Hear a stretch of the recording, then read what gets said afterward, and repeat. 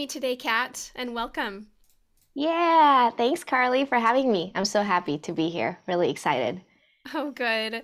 I've just loved having you as a member in TMO since you've joined, and you love performing in our open mic events, which has been so fun. Everything, everything that you do and share has just been so great. And I was just thinking, gosh, you've done so much with your life. I feel so like wow. And she joined TMO. Like you, oh. it's just been so fun having you there.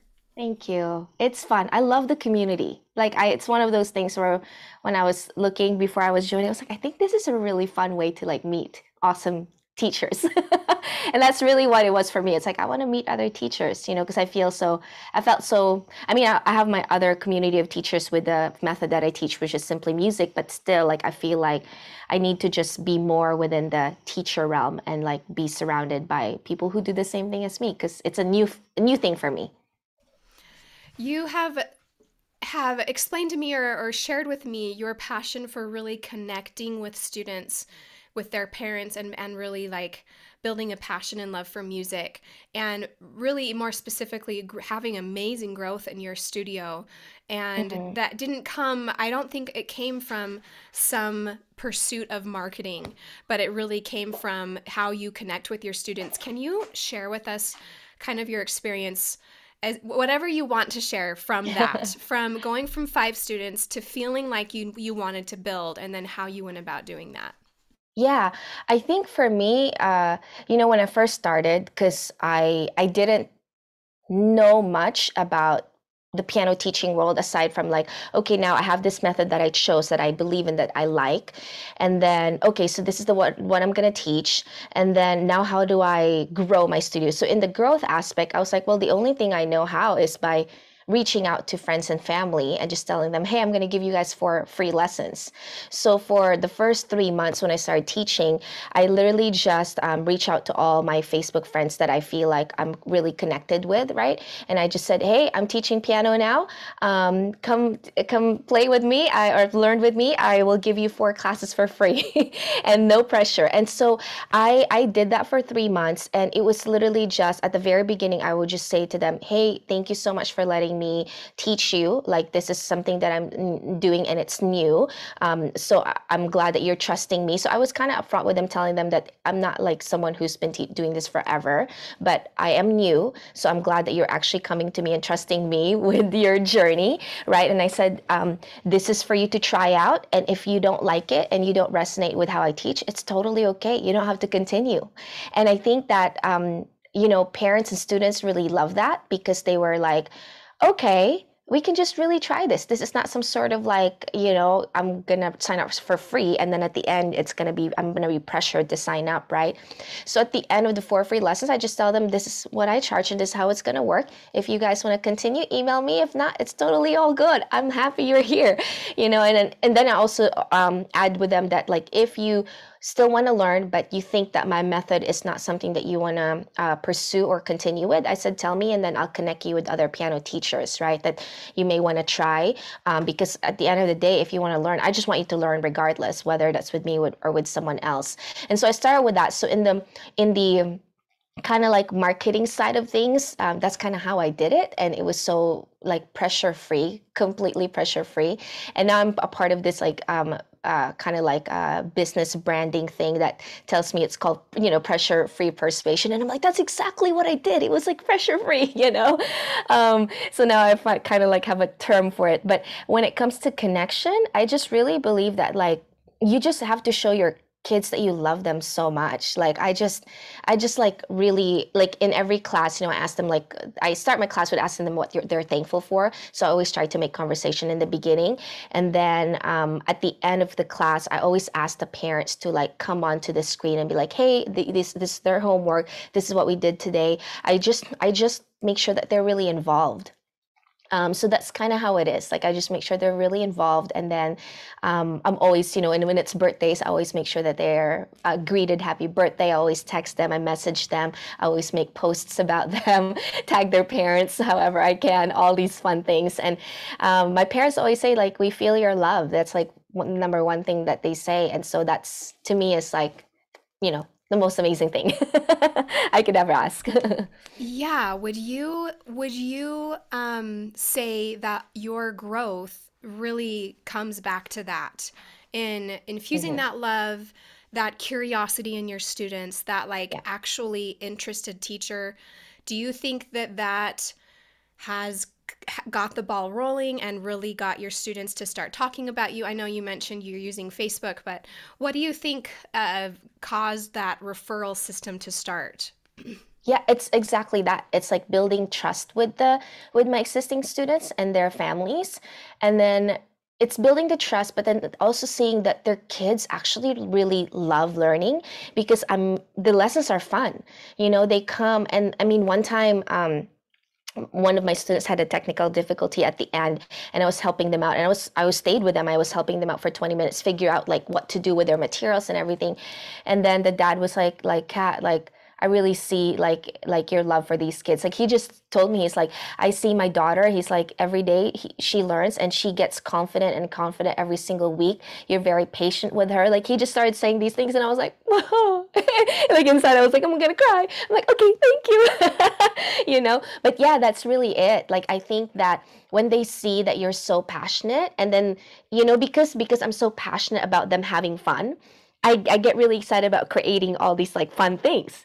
And so they get a chance to uh, engage in fun activities and then they're like oh come to this piano teacher because this piano teacher not only you know loves loves her students cares for her students and then provides all these like fun activities and challenges and all these things you know? I mean i for one of the challenge that i did this past week i mean i i mean sometimes i go over and sometimes like is this really worth it and i'm like yes it is really worth it you know because it's a lot of work it is a lot of extra work that they don't see you know i mean I printed the challenge sheets. I bought stickers and I put it with the challenge sheet and with the stickers. I mail it to them. Every single one had like challenge sheet and stickers. And when there's 50 of them, that's not easy to do, you know? Um, and so, and then the challenge was for them to send me a video every single day, you know? And it's a lot. so, um, but it's worth Okay, it. so It's so fun. so fun and and it it shows it's not just like money for you. You know, it shows like this teacher really cares about, yes, it's her business because I know you and I know you're professional with everything you do, Mhm. but you also put your heart into it. I'm curious, are you online still partially online because you really had a lot of your growth during the pandemic? hmm It's all online All still, and online. I've uh, I've kind of said because we moved now, and now I actually actually have a space like a studio, which is nice. And I've said to my students that I may want to open for um, in person, and all of them are like, "Nah, online." Even for the ones who live close to me, you know, I have some students that are literally like two miles down the road. They're like, "Mm, online. Wow. What So what I'm do you think are some of the things that they is it I mean, I know because I know online teaching is the best, but for from the student's perspective, what what do you think why are they preferring online? Um, I think that so many things are going on. Like there's just so much like the world is moving so fast and there's so many adjustments that we have to deal with every single day. And when you're a parent and then when you have all these you know kids and it's like everybody's schedules and then having to think about like driving someone else to a place when you have the other kids. And even if you have one child like and maybe you have one child but you're also like a career woman a career parent you know that like is involved in so many other entrepreneurial things. Like you're just like i don't want to have the i don't want to take the time to drive my child to a piano lesson and the gas prices. You know it's crazy. Maybe when the gas prices are a little bit better maybe my parents are going to be like okay i think we're going to go in person now you know? So It's so um convenient. And when you've you've already proven the success of being yeah. being you know the learning experience online that it actually is just as great if not in some cases better because of the tools you have when you're online.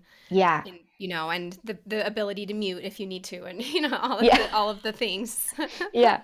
Yeah. Oh that's so exciting. So what's the future of your studio look like? Are you what are what are your long-term goals? Are you happy where you're at? Are you what are you thinking Uh, my long-term goal right now is to I'm I'm always think I always think about like moonshot ideas, like really like big and um just, you know, big audacious goal goals that I have. I have a like big audacious goal for my for my studio overall because I have all these different interests. I mean, I've danced forever.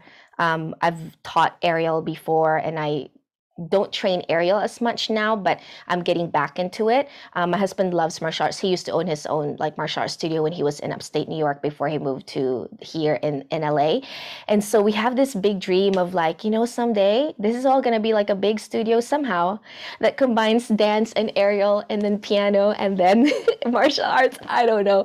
You know, just like when it comes to like just big things that I'm thinking of, like that's what I kind of like envision, right? But when it comes to specific things of like what I'm actually doing to move towards that, I am in the middle of um, creating my kind of like my webinar that's going to go out into a funnel system that will reach out to teachers that uh, will want to teach for my company um, because I really want to hire teachers that I can trust, that I can build great relationships with, that are going to be with me for a long time because I want teachers that are going to stay for a long term, you know. So that's really, I, mean, I know, you know, uh, life happens and goals change and all these things and people grow. And of course, like maybe people won't stay with you for as long. But my, my, my goal, my, my perfect client avatar is someone that is wanting to teach for a studio um, that does not want to have to deal with the business side of things but just want to go alongside an established studio and grow with them like for really long term you know because i always think like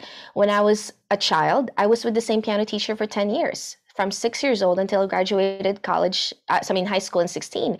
And I want teachers to be with me for that long, you know, to see their kids uh, grow and their students grow. So my uh, that's my specific thing that I'm doing right now is creating my webinar that's going to funnel out so that I can start hiring teachers. So hopefully, when they watch the one the webinar, you know, it's going to weed out the people that are like, ah, that's not for me, or you know, and then and then book a call and then let's do an interview. Let's see if it's the right fit, like all that stuff. That's so exciting. And it really does seem like it seems like the next step for you, given that you're full, given yeah. that you love what you do and you have methods that are working that your students enjoy and yeah. to bring other teachers on board. So are you thinking you will train them as well in your methods so they'd be like an employer? Or are they going to be like a contracted teacher who you send students to? Yeah, I think they're more going to be like an empl- employee. Yeah, that that I'm going to train them, and it's very specific and everything. Yeah, um, I like I I like more of the idea of that, just because I really believe in the method that I teach, and I I've just seen like how effective it is and how fun it is for students. So it's like I've I've honestly I've toggled back and forth, you know, with like the 1099 and and all that stuff. And I know the other stuff has more costs to it, but like I think at the end of the day, it gives me more of like it's not even about control, but it's just about effectivity. Like I like the effectiveness of it, right? And and I like I like it when it's streamlined. you know, I, I like things streamlined if that makes sense. So like when there's like if there's multiple methods, my mind is just gonna be like, what?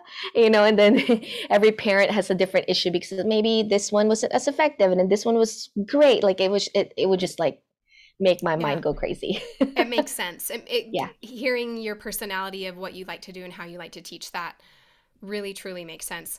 I I'd love to hear. I there's so many questions I have, but um, you know, we have teachers inside our community and outside who listen who they're just they just feel so stuck. They mm. feel mm. um, they feel like they're passionate about teaching. They feel like they're set up. They have the methods. They might have mm. like five to ten students and they just don't know where to go. Maybe they don't have a big community to reach out to and give free lessons to, mm-hmm. you know, or maybe they've tried that and it just didn't go anywhere.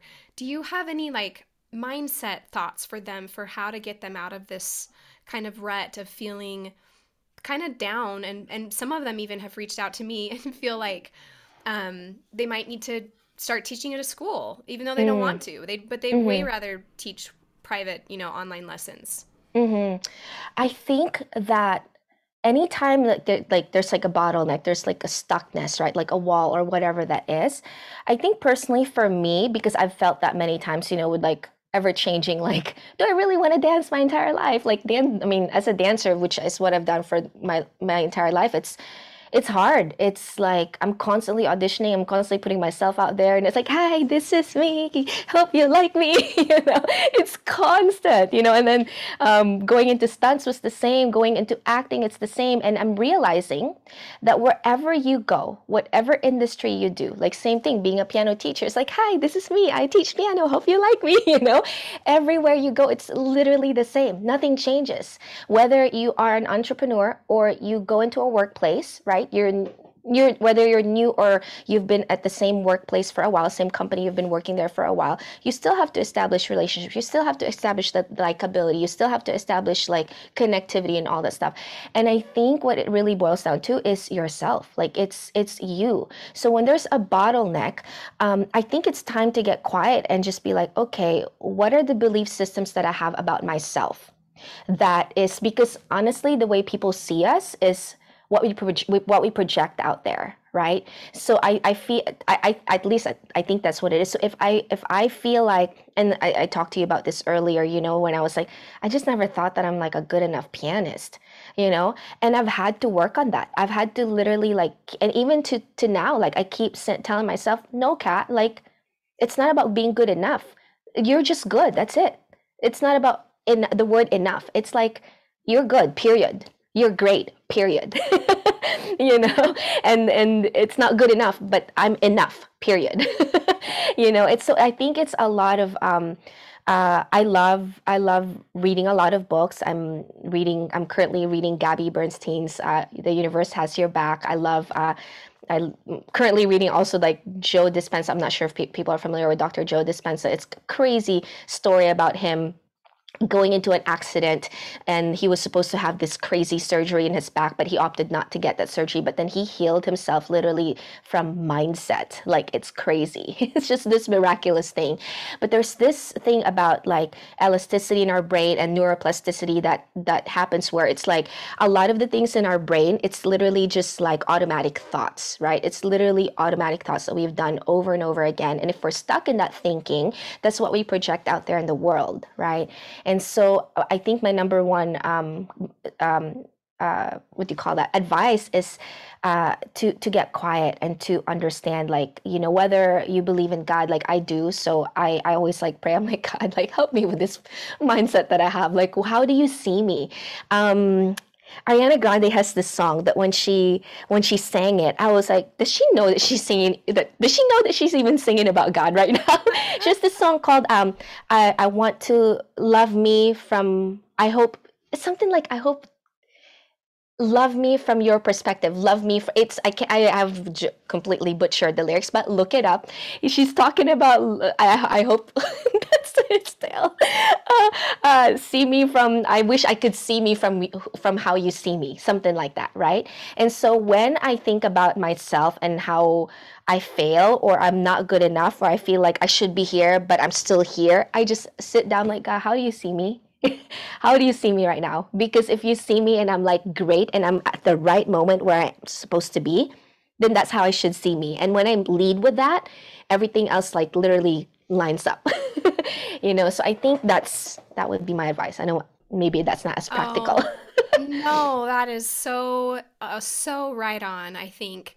And I, you know, I kind of observe I love observing mindset and teachers and different perspectives and you know i see so many teachers in different situations with either they're moving or their husband is sick and they're the breadwinner now and they've got to mm-hmm. provide and it stresses them out or it makes them feel overwhelmed um, and then you have teachers who are just getting into this anyway there's a there's a a whole number of circumstances that weigh on me because mm-hmm. I, I work with these teachers and i have very similar thoughts as to, well, what do you think of yourself? Like, mm-hmm. what you mm-hmm. think of yourself is actually what what you're going to exactly what you said portray put out there and if you're thinking those negative thoughts that's what other people may think about you because you're putting that out there yeah. versus like how you are you just nailed it with you know who am i i'm i am enough i am good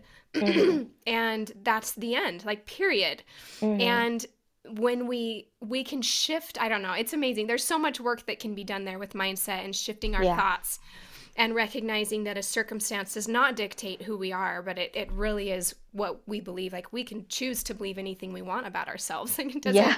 it doesn't matter what anybody has told you ever about yourself. Yeah. We can we can actually choose to think whatever we want. Yeah. And in turn, it it brings different action and different it can totally change your circumstance in the future. So thank you so much. Yeah. Um I don't know if you had anything to add to that. I actually, because you, you just brought up a uh, thing there about like, you know, maybe teachers are like, maybe their husband, you know, got or a spouse got sick and now they're like the main breadwinner. I'm actually in that like boat right now because my husband just got laid off. Well, he's not sick, but got laid off, right? So there's things that are happening personally too. So, and this is the funniest thing because I do believe that our words have power. And literally th- the day before he got laid off, I was with a friend and I told my friend, I just think that Lee and Lee's my, my husband's name. uh, Lee should be in a different job. He's been doing that job for the same. He could basically do it while he's sleeping. He's so good at it.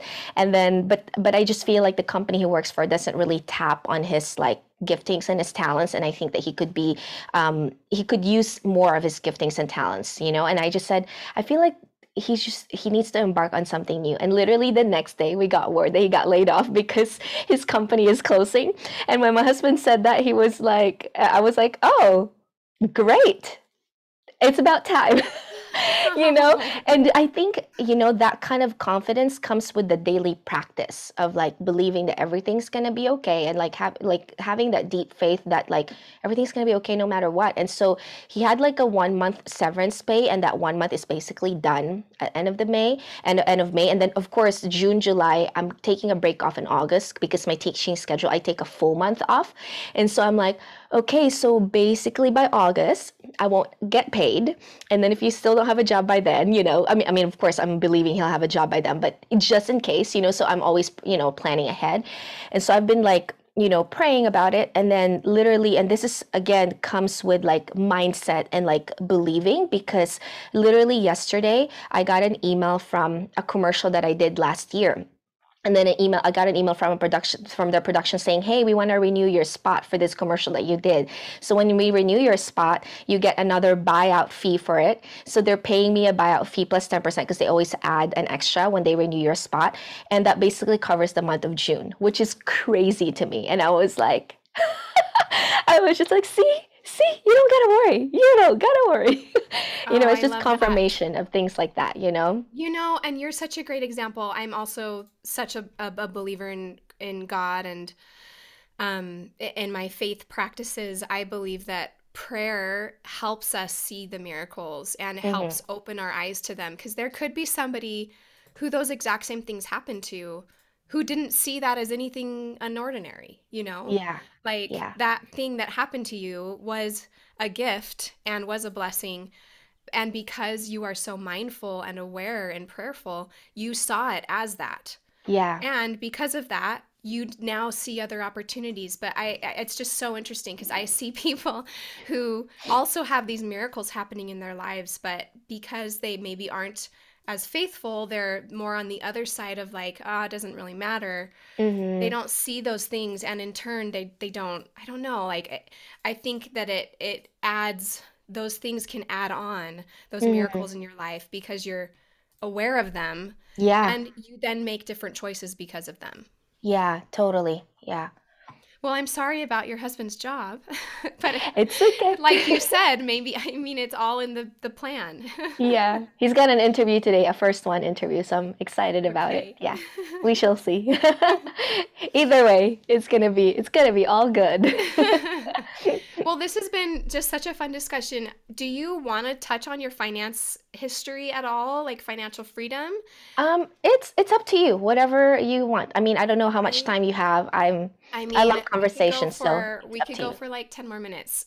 And I Sure. think your story is one that is I have a, a similar story which I've told you or you know of, but Mhm. Yeah. um a lot of teachers, I think I, I don't know. I think it's very encouraging and inspiring to hear. Um, Yeah.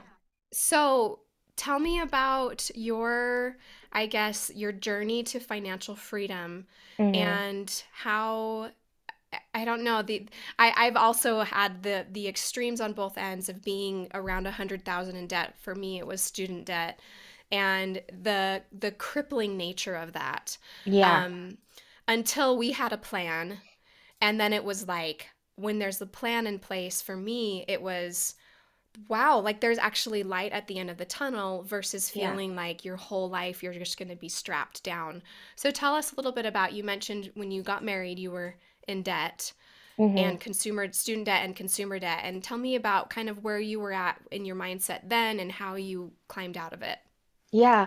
So for me, uh, when I was, you know, I was born and raised in the Philippines, and over there, my parents always taught me to save. They were always like savers, but also they always taught me that like, um, if you don't have it, you can't you can't buy it. If you don't have the cash for it, you can't buy it. So I didn't really grow up in credit cards. That's just how it, was for me back then. And then I moved to the U.S.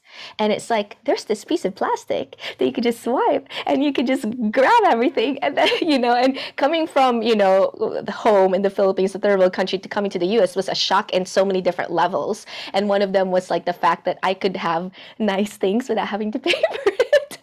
well, you have to pay for it still, but you know what I mean.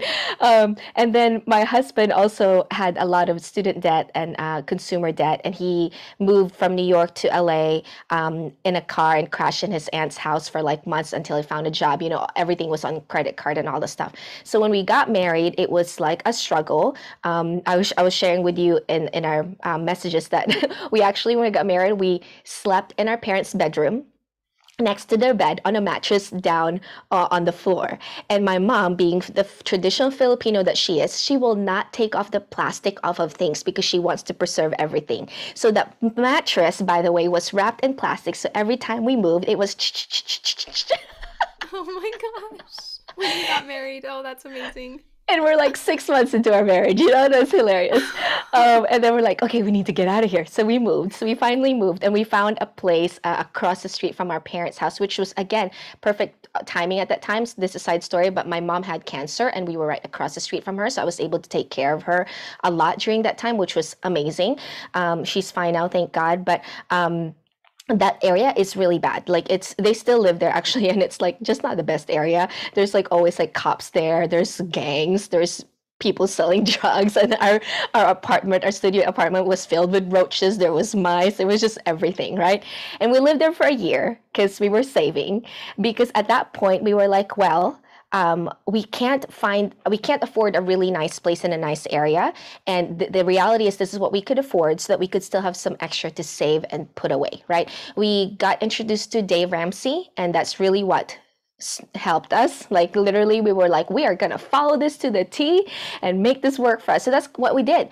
And we um, we paid off all of our debt. We're debt free we started investing so we've we've ha- we have investment properties and all that. But for me what that ties to is you know finances is such a burden right? When you are just strapped and you feel like you can't move and you can't uh, do fun things it really affects your mentality it affects affects your emotions it affects your creativity. And I think that the reason why I have so much energy for creativity for my studio is the fact that we don't have to worry about debt. You know, I mean, of course, we have mortgage and all that stuff, which is debt, but we don't have the consumer debt like looming uh, uh, above us, right? So that to me is so important, so that you can be you can be free to to um, operate in whatever it is that you're operating in, whether that's just at your workplace or you're an entrepreneur or a teacher, whatever that is. You have more room for creativity because you're not worried. Oh, Yeah. that's so good. And I can imagine that you guys, during that, you know, you kind of said, and we paid off our debt. That was a lot of debt. And I'm sure it didn't happen in a year, it happened over No. years of working on Yeah. it. But the, everything that you learned during that time, like how to communicate with your husband, how to be creative, how to work hard, how to budget. I mean, there are so many principles of like just having a good marriage and Mm, and just life principles that now you can pass on to other people. yeah. Gosh, uh, part of me going through that was in a way grateful that I got to go through that so young, you know, in my Yeah. 20s, early tw- well, late 20s. And because now I'm I'm I won't go ever back to that because I know what it's like. I mean, it's amazing that if you strap down and really like can climb out of debt, it, you if you're in the debt right now, you feel like, oh, it's going to be the worst five years. But actually, like you learn so much. Yeah, you learn so much. And also, like being able to do that, it gives you this almost like superpower. Like, well, if I can do that, I can do anything else. It So gives you this feeling of like, this is cool.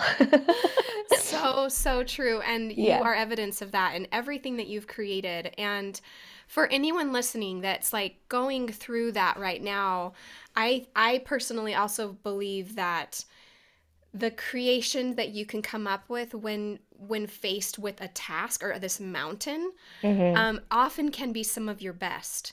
Yeah. because you have this mountain that you have to climb over you are forced into this position of like okay like what are my skills? What what can i do? Like what where where are my extra hours? Like what can i sacrifice? Can i sacrifice the netflix and the hmm trips and the cruises and the new cars and like it, you're forced into like a really adult way of thinking um Yeah. that in turn is i don't know i, I think it's worth it's worth it all Yeah.